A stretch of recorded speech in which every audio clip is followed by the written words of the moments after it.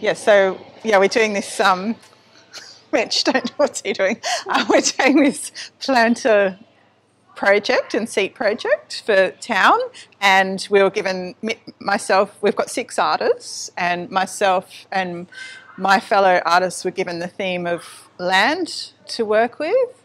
So I guess I started with what I knew because I live in Murwillumbah, so um, just um, well, I'm just always very inspired whenever you drive out of town in just about any direction. You get this amazing view of farmland, mainly sugarcane, and with the beautiful mountains in the background. So um, actually went um, and up to sort towards Dungay and on, along Cane Road and did a bit of painting just to get in the get prepared, I guess. So um, this scene here is um, is based on yeah the, the view from up close to Dungay, and then this um, little grass tree here is actually from the pinnacle at the Border Ranges. It's um, it's a little bit shorter, of course, than most grass trees, but that sort of fitted into the composition fairly well. And this section over here, yeah, probably just more from imagination, I guess, but just trying to capture that um, that idea of the farmland and the mountains. And then, because um, I'm working together with Mitch, who's really fabulous with typography, he's come along and written this word caldera, which has tied the whole piece together quite well, I think.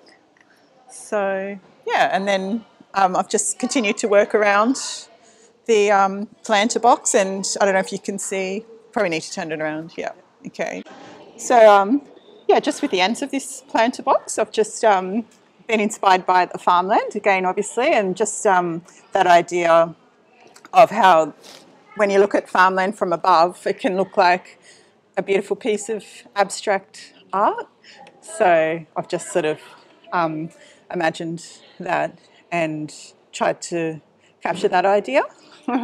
yeah, sure. So um, yeah, this side of the planter, um, I feel very proud of. It's actually a collaboration between three of the six artists who are working on the planters. So I've um, painted the background, which is trying to capture that feeling of driving out of Murwillumbah and seeing the cane fields and the mountains. And we have a fabulous Indigenous artist, Jason King, and he's given us the suggestion to use this word, jagun. He'll probably pronounce it better than me. and this is a, a local language word meaning land. So, and he was explaining that it, it's actually more than just land. It, the word actually means um, land as though it's almost a family member or, so, or an ent- its own entity that you have a relationship with. So it's really a very beautiful word. So we're very grateful to him for suggesting it to us. And Mitch has used his typography skills to paint the word. And yeah, so we're very happy. Okay, so um, yeah, these are this is some other. This is a seat that I've done and another planter a lot using the theme of land. So with this one at the back, um, I've just, it's a little bit abstract, I guess, just used quite a few different elements from farming and also from the rainforest. Um, I've got some rainforesty kind of vines and some staghorn, just a bit abstracted though. And also from people's gardens, for example, some of the monstera plant, monstera.